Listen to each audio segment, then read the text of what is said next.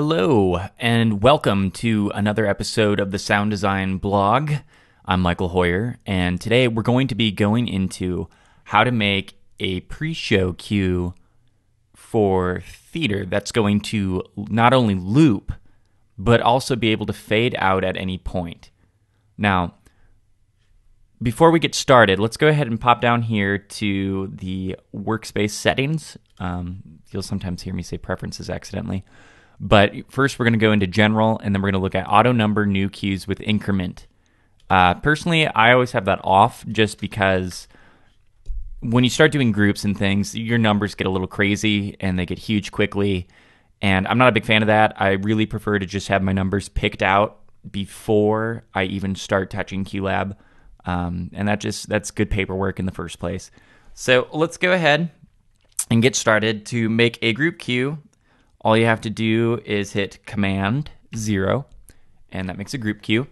So looking at this, we see that there is no number on it. Let's go ahead, add a number to it. Um, I'm going to go with 0.5. Um, to do that, you can also just hit N, and that'll highlight that same spot, and you can type in 0.5. Uh, to change the name on that guy, let's go ahead and hit Q. Uh, notice too, I hit Q. This is labeled Q. That was a good thought process for them.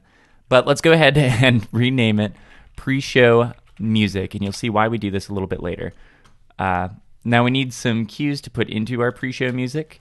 I'm going to go ahead and just use these transitions from a show I did a couple years back. It was A Devil Inside by David Lindsay Abaire. Um, did it at UMKC. Um, and actually, that was a good point to look at. For some reason, the 10's been throwing itself up here with the 1 on that. But when you take a cue and you drag it into the space, if you put it into the main workspace area, it lights up the whole box with that blue. You see the blue that's highlighting where you're putting it? Well, if you put it into the group, it'll highlight the group, and then you know that it's going in. Uh, the line also works internally within it, so you can see where you're dropping it. But we're going to put it at the end, so it goes in sequential order. Um, now, to make this loop, what we're going to do, we're going to go ahead and grab a start cue, and we're going to put that right at the bottom of the group. Notice I gave it a red X. It, it says a cue in the group is broken. That's because we haven't told the start cue what to do yet, and it tells you that. And again, this is a really good practice. If there is a red X in QLab, just put your mouse over it. It'll tell you what's going on, which is a wonderful feature and helps speed up your troubleshooting. So all we need to do is take the first cue in the group and make it the target of the start cue. So now this is targeting start act one, scene one wave, which is right up there. Um, so if we were to fire the cue at the moment, what it would do is just simply go into the group and it would play this first cue. Not exactly what we want. So what we need to do is set up a bunch of auto follows. To do that, you can hit C, and that'll change over here what your follows are doing. You could also go ahead and just click twice over there to make the auto follow symbol.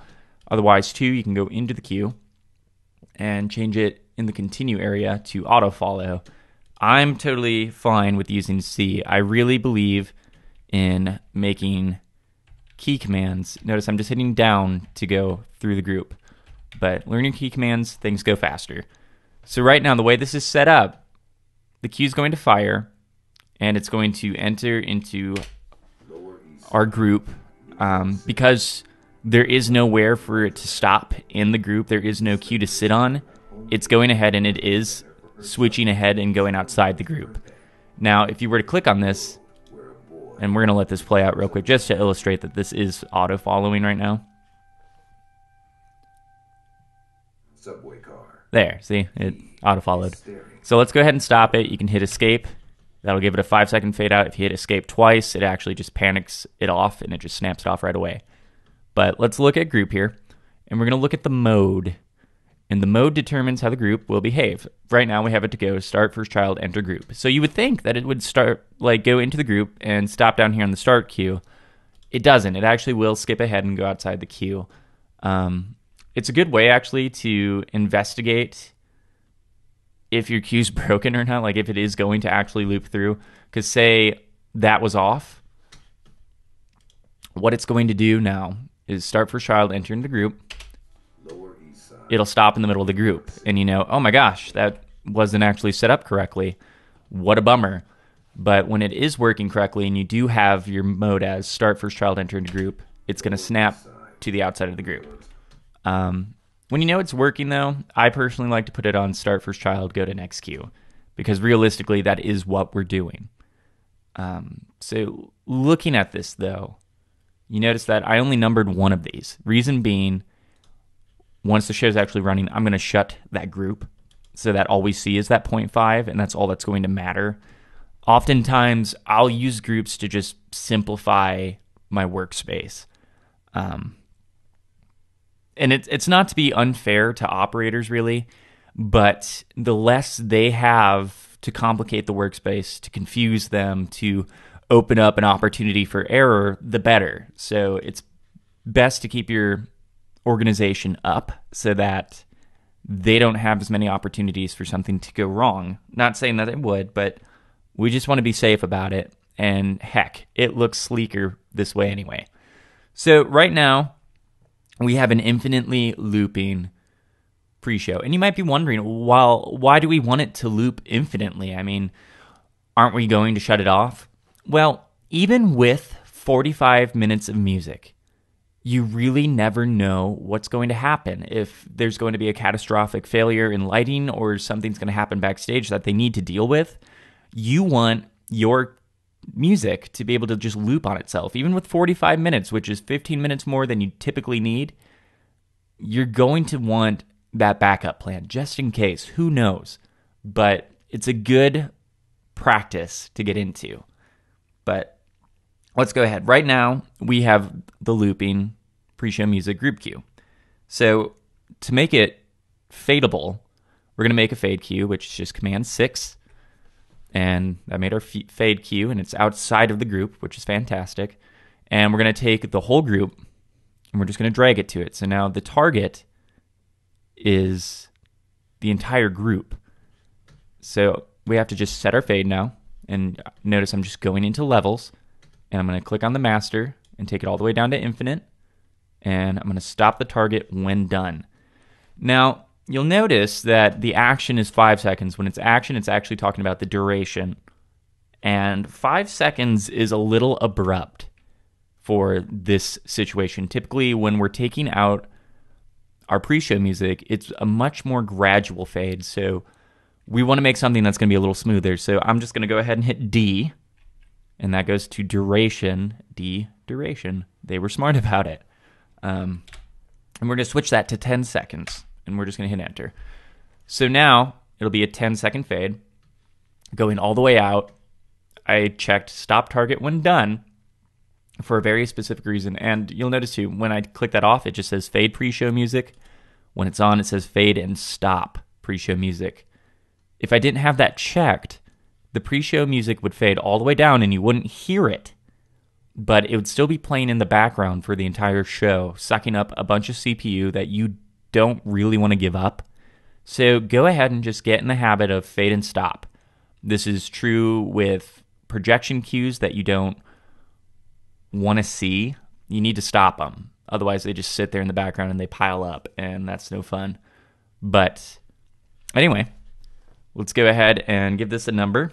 And again, you could have hit N. Notice number N Q Q.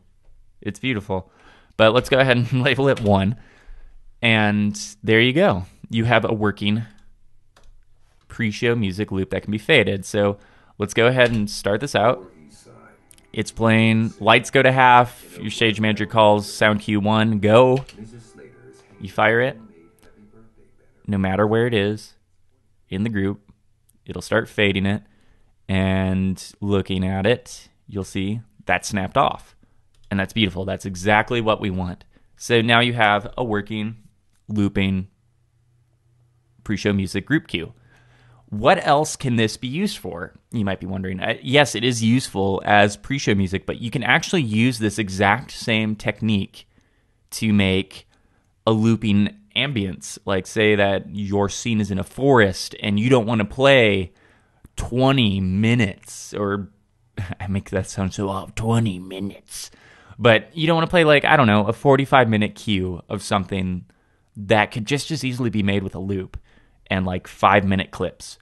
So a good technique is do basically this exact same thing, set up, you know, you could do like five cues. They can even be like the same cues and just stagger them a bunch, but make it so that it loops on itself and that it, it's not going to bump into its tail end.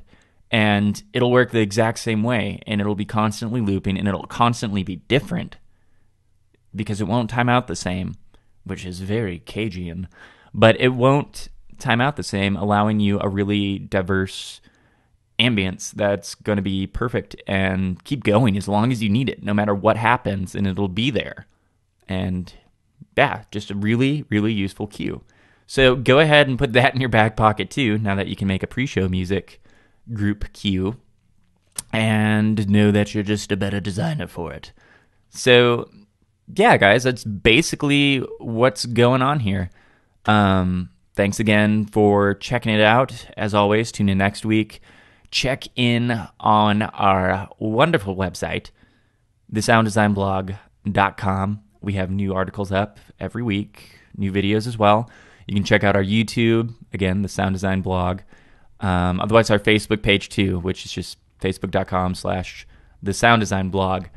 Uh, but definitely check us out. Feel free to contribute. We're totally open to new ideas, new questions. Anytime you get stumped on something and you're just curious about it, even if that's just like, what's a good sound MFA program or anything like that, feel free to go to my pick my brain um, tab on the website and I'll happily answer any of those kinds of questions for you. So, yeah, thanks again for tuning in and I'll see you next week.